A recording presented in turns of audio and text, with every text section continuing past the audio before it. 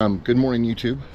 Um, we're getting ready to do an install on our little bitty trailer and this is my good buddy, pal, and friend now, Mr. Steve. Hi. Um, and if you're in the Reno air, uh, air races, if you're in the Reno area and you need to have installs done on solar, this is the man to see. He's done one or two thousand, um, so probably something you want to do. But over here on the table is what we're putting in today. So we've got a multi plus two Got a couple of solar charge controllers for the solar that's going on board, our Cerbo GX and our color panel. but if you think that's all that's involved, sadly mistaken. I think we're onto something good.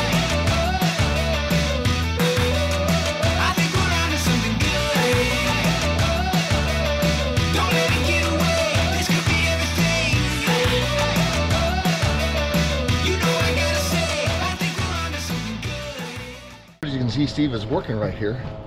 Is our famous Battleborn Game Changer 3.0. What? 3.0. 270 amp hours by three batteries. That's a whole lot of power. And then Steve brought some big panels we're going to put on. They're 405 watts and they're actually rated for a heavy snow load and high winds. So we're ending up with about 2200 watts of solar on the roof. And Steve, my man back here, says it should be about five hours to go from dead to fully charged on the entire battery bank. So we're really looking forward to getting this all done. Steve, why do I have these really cool Victron Energy 150 by 100 controllers? Man, they look good in that bay. But why are they there? They're there to turn the sun's power into free energy. But it came with this little itty bitty one that was just running my one single battery. So you're trying to tell me because I'm going to have over 2200 watts on the roof, I need to have this to split those? Yeah, so we could get away with one if we were using one type of panel, but since your RV came with two 320 watt panels, we're going to leave those two up there and add three 405 watt panels. So they have to be separated because wattages and voltages don't match. And when you wire solar, you can't do that. You have to keep things similar.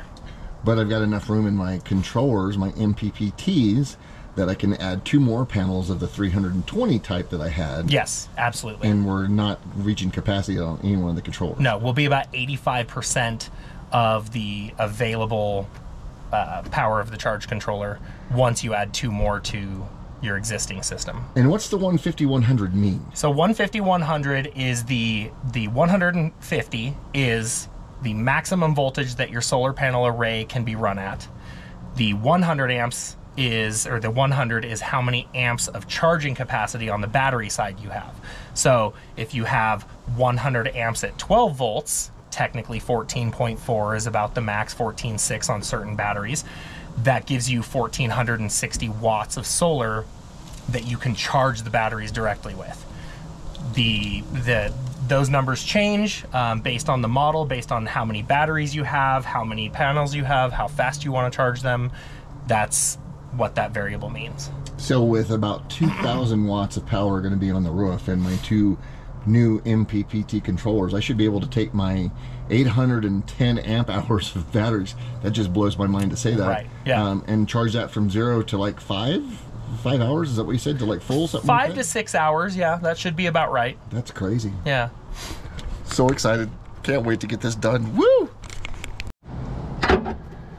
And now while I got Steve, you know, just in the worst position ever, Ask me questions. gonna ask you questions. What? What are you doing? Trying to break, not break stuff. Ugh, perfect. So no fingers in the way.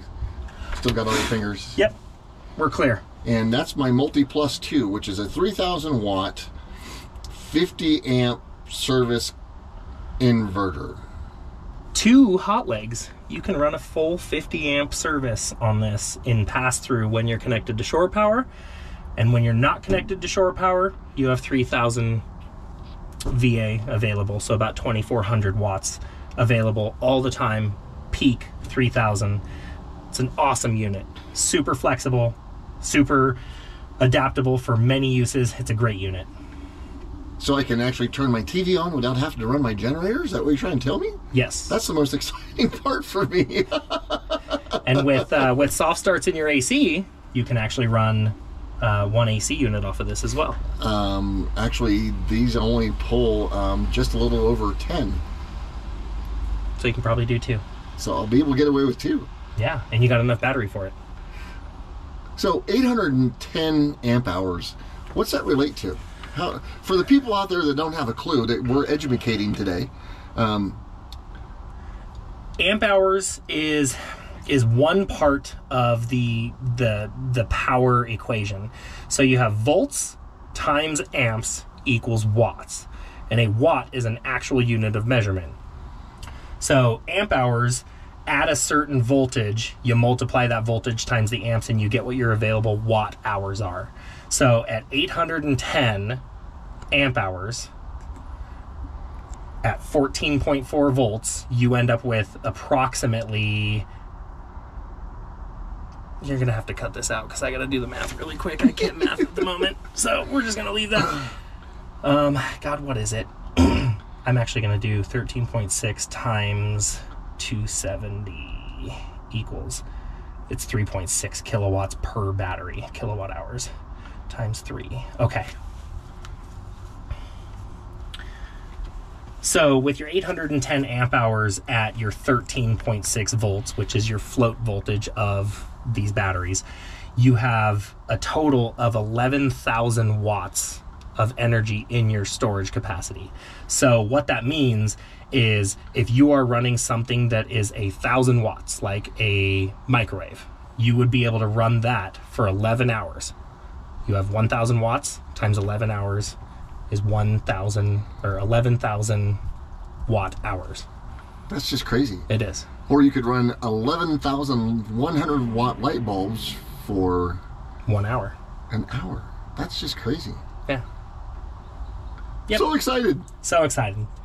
All right, so now that we've hung the controllers and we've got the inverter multi plus two in there, now you're getting ready to bring all those together. And I asked a question, and for the people out there, you've got to put rings on one of them, and that's going to the actual multi plus two, Yeah. So and those are them. yes. And then the other ones are just going to be bald or straight wire yeah. going into the connection. So Yes. that's going into the MPPTs, and yet that's going into our multi plus two. And, And then you got this cute little toy. What's this cute little toy too? this little toy is the Godzilla of uh, hydraulic crimpers, and this gives us 12 U.S. tons of pressure to crimp this terminal onto these bare wires in a way that will reduce uh, any sort of resistance whatsoever and make the cleanest possible electrical path. And so I'm going to ask you because there's some controversy about this. Yeah. When it's time to actually strip this back and then put it in here, some mm-hmm. people say that you don't go beyond the end of the ring connector, and then some people actually run it beyond, beyond it. So we just want to go in and not have anything exposed on the end down here, right? We don't want to have any extra wire showing here. Uh, in my experience, I have never really felt that there is that much of a difference in what we're doing with this. If we are running this at capacity in really high temperatures, maybe it might make a difference. But if you look, Yeah, that's pretty tight. that's tight. So we've got a little bit coming out the other end, which is what you want, and you've got it nice and flush, and that's it. You must be a professional. You've done this once or twice. Like I have, yes. I, I stayed at a Holiday Inn Express last night. Oh, that's how I became a pilot. Yeah. Yeah, that's awesome. We're moving right along. There's power back to the coach. He's done all the stuff with the 6.3 and we're just moving along.